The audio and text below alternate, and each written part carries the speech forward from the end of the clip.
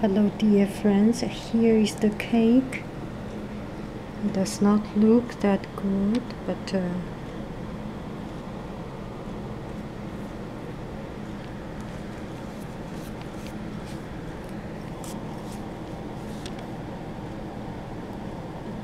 is quite uh, quite okay.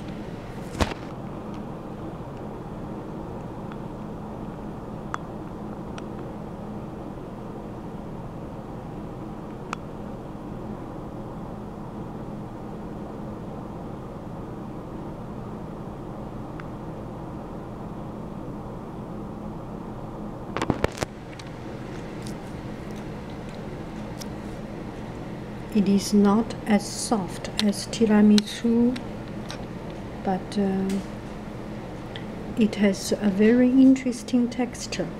The smoothness of the cream and uh, the the independent, very independent um, texture of the chocolate so it is quite uh, enjoyable.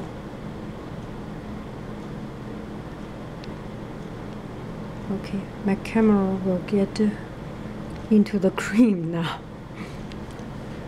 so close. Yeah, this is the cake, how it looks like. It's very, very unique, let's say, put it this way.